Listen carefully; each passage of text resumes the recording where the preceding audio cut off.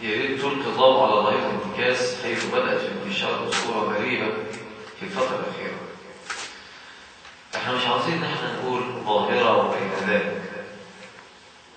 قال الله ومن يرد الله أن يهديه يشرح صدره بالإسلام ومن يرد أن يضله يجعل صدره ضيقا حرجا كأنما يصعد في السماء.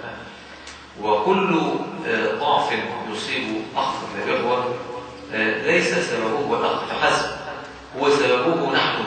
سبب مجموعة الإخوة. سببه مجموعة الإخوة. ليه؟ لأن الناس إذا كانت في سفر فضعف أحدهم في السفر.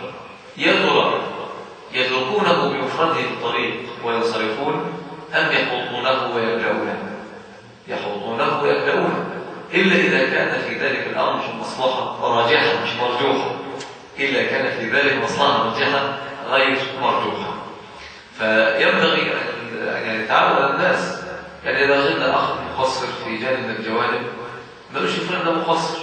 نعمل إيه؟ نجتهد نذهب إليه وناخذ بيده وندعو له كثيرا ونخوضه ونتلوه ونرعاه إلى أن يفيق من غفلته وأن يقوم من توبته.